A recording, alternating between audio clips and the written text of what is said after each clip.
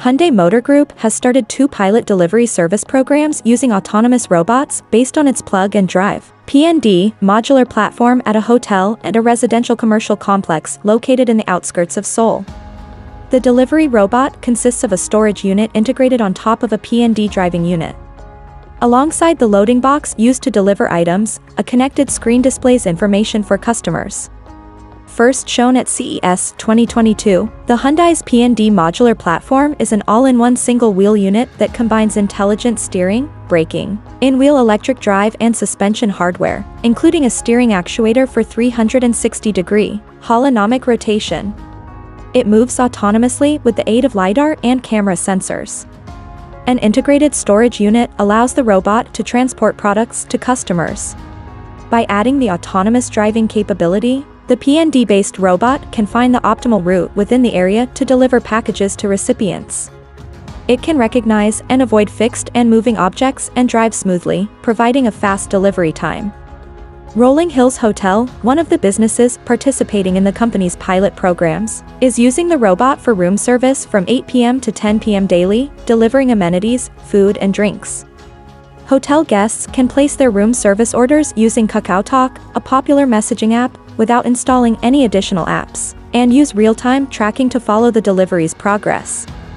The robot in service at the hotel uses a deep learning-based algorithm to recognize the surrounding environment and people.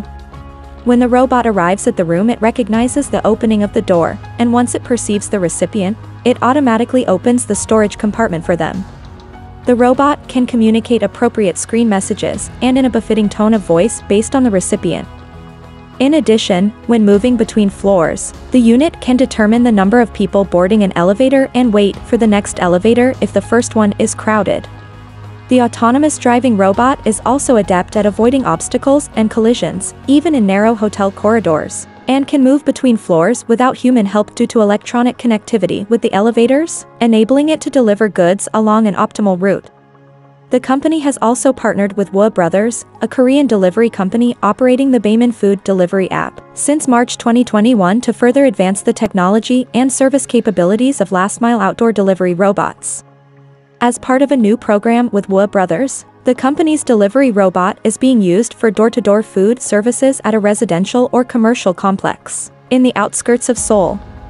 After a customer places an online order through Baemin, the robot finds the exact item at a shopping center connected to a residential commercial complex and delivers it to the customer's front door. To enable the service, the group uses wireless communication to access communal front doors and elevators, an issue which was previously an obstacle to commercializing robot delivery service. The service robot can enter the apartment complex, access upper floors through the elevator control system and deliver food to the customer's home. The technology enabling service robots to move autonomously indoors and outdoors and deliver food without human assistance has created a game-changing last-mile delivery innovation that is attracting significant attention from the logistics and retail industries. The company expects last-mile delivery robots to greatly increase the efficiency of the entire delivery process. Based on the results of these pilot programs, the company plans to upgrade its PND-based delivery robot services and gradually expand the number of robots and their operating hours. It also plans to expand its business into commercial areas that require delivery services to connect with customers.